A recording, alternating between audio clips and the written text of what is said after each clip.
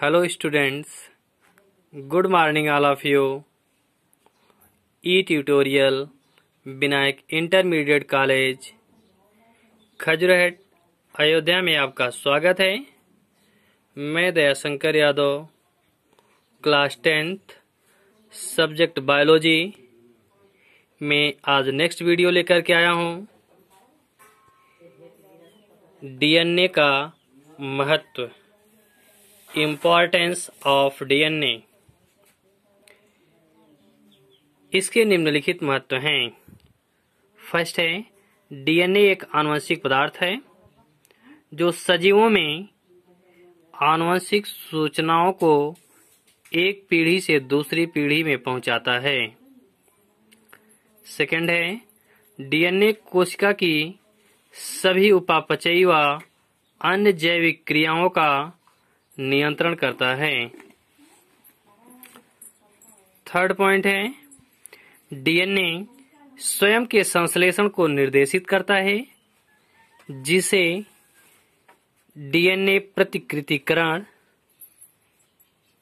Replication या Griffith का लिपिकरण कहते हैं। नेक्स्ट पॉइंट है डीएनए द्वारा आरएनए का संश्लेषण किया जाता है, जो कि प्रोटीन संश्लेषण के लिए अति आवश्यक होता है। इस प्रक्रम को अनुलेखन या ट्रांसक्रिप्शन कहते हैं। अब हम पढ़ेंगे आरएनए के बारे में। सेकेंड है, न्यूक्लिक अम्ल का दूसरा टाइप्स है आरएनए राइबो न्यूक्लिक अम्ल। आरएनए का निर्माण डीएनए से होता है। जैसा कि ऊपर बताया गया है, डीएनए द्वारा आरएनए का संश्लेषण किया जाता है, यानी डीएनए से आरएनए का निर्माण होता है। तो आरएनए का निर्माण डीएनए से होता है। यह भी पॉलीन्यूक्लियोटाइड श्रृंखला से बना होता है, जिसका निर्माण हज़ारों न्यूक्लियोटाइड से होता है। आरएनए का न्यूक्लियोटाइड्स भी डीएनए के जैसा ही होता है। परंतु यह निम्न दो बातों में डीएनए न्यूक्लियोटाइड से अलग होता है। फ़र्स्ट है, इसमें राइबोस शर्करा उपस्थित होती है।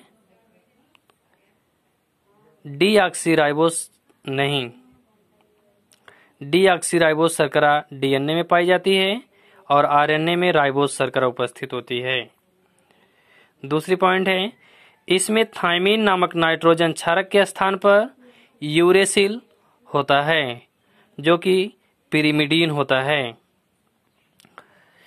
यह सामान्यतया एक रज्जुक सिंगल स्ट्रैंडेड होता है।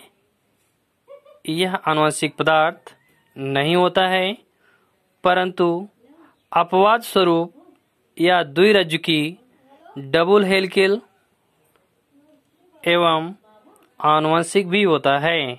जैसे रियो वायरस में यह आनुवंशिक पदार्थ होता है। आज का वीडियो यहीं पे ख़त्म होता है। इसके आगे हम नेक्स्ट वीडियो में पढ़ेंगे टाइप ऑफ़ आरएनए आरएनए के प्रकार। Thank you